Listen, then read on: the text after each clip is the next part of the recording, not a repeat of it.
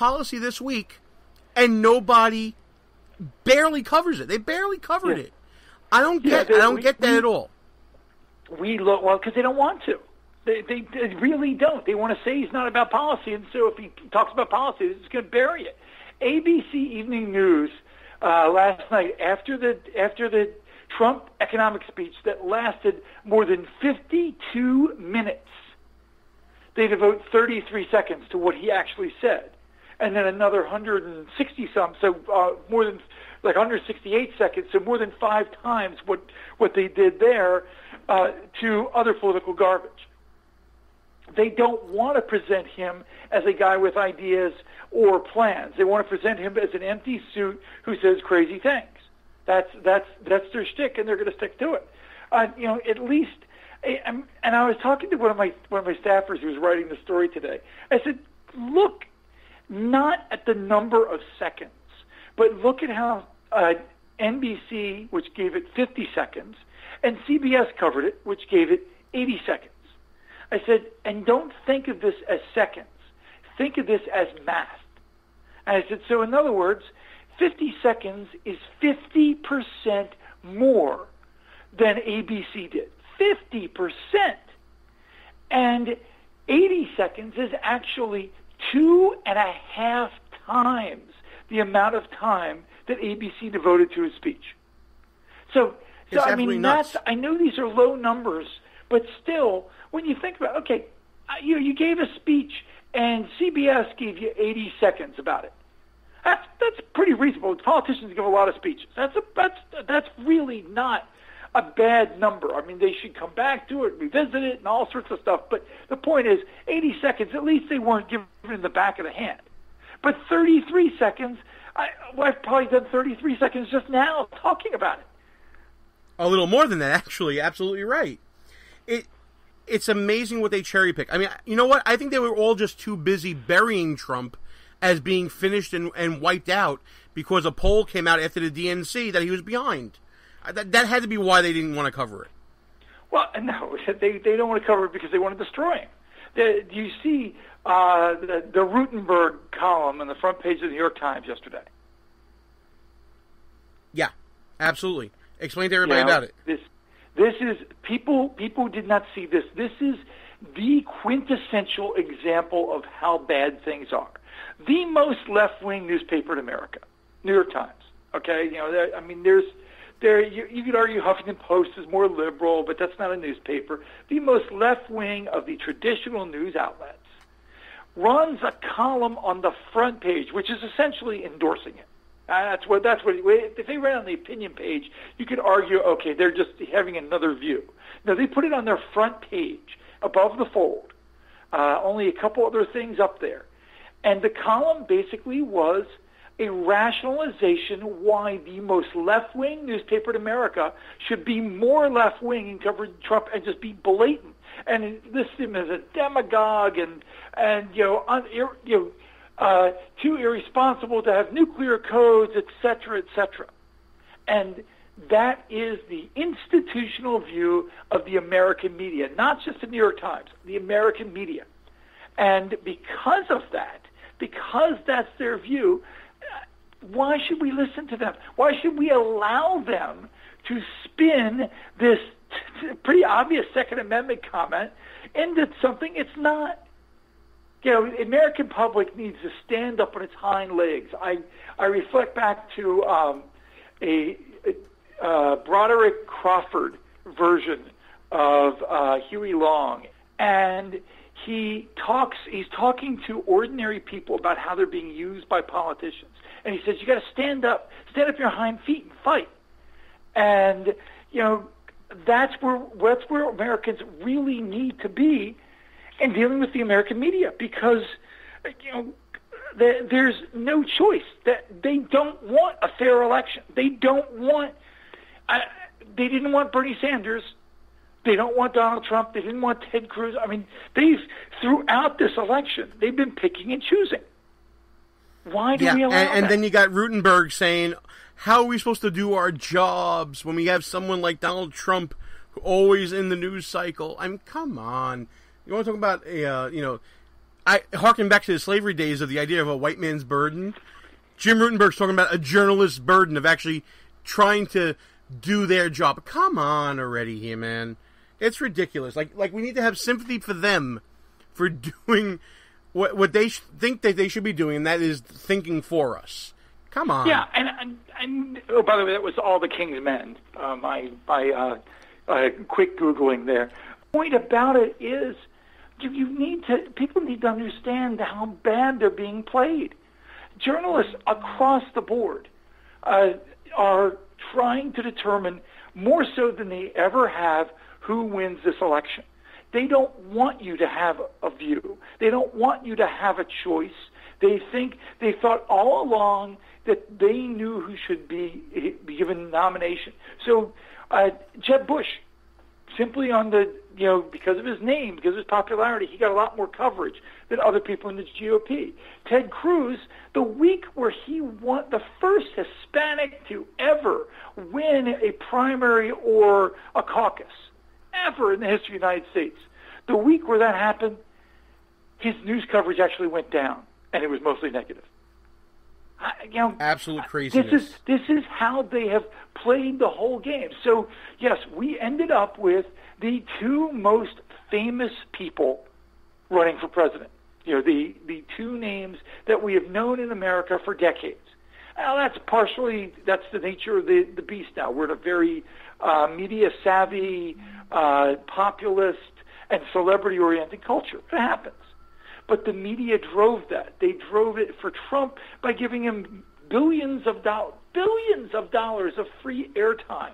And that doesn't count the more than a decade the man got on NBC running The Apprentice. Now, if you're a Trump fan, you're saying, well, that's fine. And it is perfectly fine. He wasn't running for office.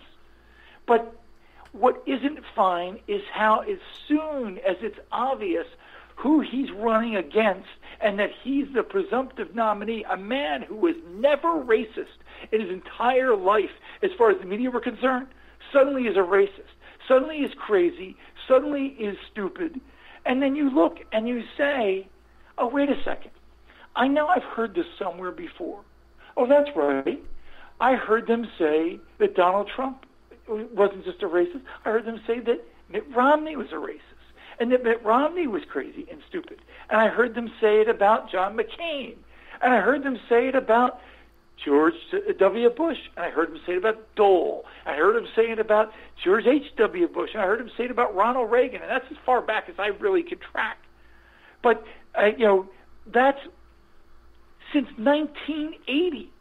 So 36 years of American politics have been saying the same three things and just re- reordering them. If you disagree with the left at all about, you know, uh, what they call affirmative action and what I call blatant discrimination, you're a racist. If you disagree that we, you know, that Black Lives Matter is, you know, is not, you know, if you think it's not a good thing, if the, you know, they're blocking roads and, uh, you know, rioting in Minnesota is not a good thing, then you're a racist by the left. If you think that anything that they disagree with, you're pro-gun, pro-free speech, if you don't think that uh, the we should gut the First and Second Amendments, well, you're crazy. Oh, wait. Oh, you you don't know some key policy item that that wonky people want you to know. Oh, then you're stupid. Well, this is like I said, this is the game they've been playing against the right forever, and why people listen to it, I, I'm I'm befuddled, and why turning it around, why you can expect that the GOP will allow some of these complete pieces of human filth uh, as moderators. I, you know, I mean, look at who they ended up with in the debates this time. You know, standard lefty talking points for you know, CNBC. Let's put John Harwood on there. What person on earth thought John Harwood should be a, a debate moderator? The same person most likely thought Candy Crowley should be a debate moderator in 2012. And that person's an you, idiot. You know, Dan, you really got to get in touch with your feelings on this issue because I don't think that you've really scoped it out as much as you should have in, in preparation for this interview. You really got to yeah, learn I, how to I, open my up, problem man. Is I'm too mellow. That's what it is. But you know what? Let's take your point a little further and let's take it out of the political arena for a second. There are those on the left that want to tell people who should be carrying the American flag in the Olympics. You talk about the most absurd things. You know, the story comes out that Michael Phelps was voted by his fellow Olympians to carry the flag in the opening ceremonies. And W. Kamau Bell, a comedian who is now being given credibility by CNN for being some sort of political commentator, writes an article saying, well, the Muslim girl who's in fencing should do it, and what a great message that would send. And it's okay, Michael, you've got, you know, what is it now, 19 gold medals and 23 medals overall anyway. You don't need this honor, even though he earned it from the respect of his peers. Well, see, this mean, is this is the height the- of liberal media. This is the height also of lefty stupidity that that it's no longer about merit. You know, oh well, she's Muslim. That's not merit. She picked being Muslim. Uh, There's no merit to that. You know, he swam constantly for years. He worked hard. He's talented. He's athletic. Uh, you know, masterpiece. 19 gold medals. My goodness. And yay, yay, Baltimore. Proud, proud of my hometown. Uh, and he earned it. But they want to give it to her because of diversity. This is this is what the left does. You know, they they absolutely try to fix everything based on bogus diversity. It, it, it was the most absurd thing I saw on the news this week, and there's been quite a bit from Hillary short circuiting to to to this topic. But listen, we can only fit in so much every month. I want to make sure that we tell everybody about uh, the uh, Media Research Center's documentary coming out, Collateral Damage, and it looks like uh, you guys have been getting a little bit of flack from the left about it. Oh yeah, the left the left hates any time you tell the truth story about America. The the true story about coal in this country is the left has destroyed coal and you know tried to hurt uh, every place from Appalachia to Wyoming that is involved in coal. And so we sent you know video journalists out there, reporters out there to to tell the story about coal, and you have a chance to both you know help us get the word out for that video and you know just go you just go on to uh, I think it's uh, right now on mrctv.org and you know help us help us out get that word out. Absolutely. The documentary we're talking about is foreign. Uh, I'm sorry, Col- collateral damages, forgotten casualties of the left's war on coal. Right now, it's on MRC TV, which is the sister organization of Newsbusters.org. Check it out right now. Go over there, watch the video that the left doesn't want you to see. It's a great watch. Dan, what else can we plug? Basically, every article, by the way, folks, we talked about today is on newsbusters.org. So check it out Well, if you want to know more about my anything we've been talking two about. last things. I will Go plug ahead. my regular weekly column that comes out on Friday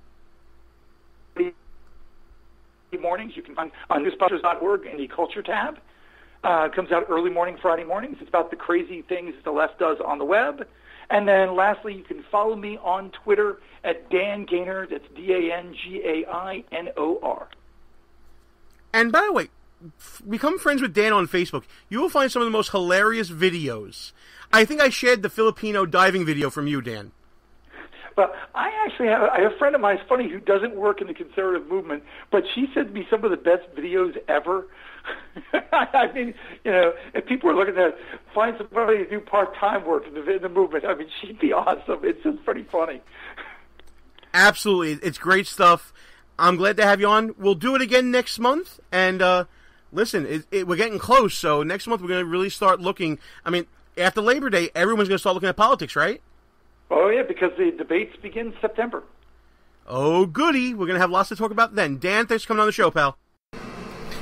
That was Dan Gainor from Newsbusters and Media Research Center. Check out newsbusters.org. Guys, I check it out every day as part of my daily blog roll. A lot of great stories on there. Everything we talk about in that interview, you can find on Newsbusters this week.